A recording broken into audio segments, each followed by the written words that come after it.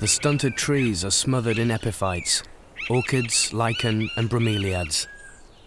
Plants that attach themselves to trees for support.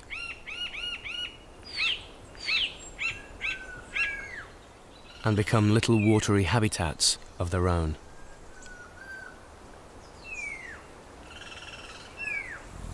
There are surprisingly few insects. Many of the flowers rely on birds for pollination instead.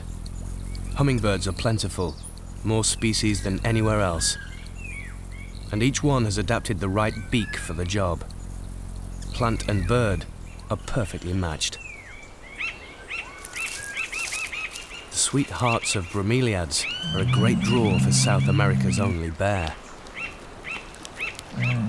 But the catch is, they have to climb trees to get at them.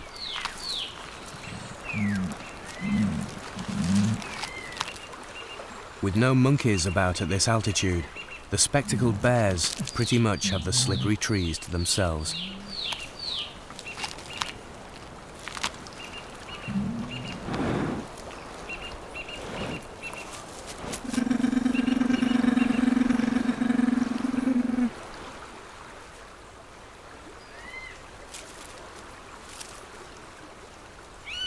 But hardly built like a monkey, these bear cubs need to practice their climbing skills if they want to eat treats that grow in trees.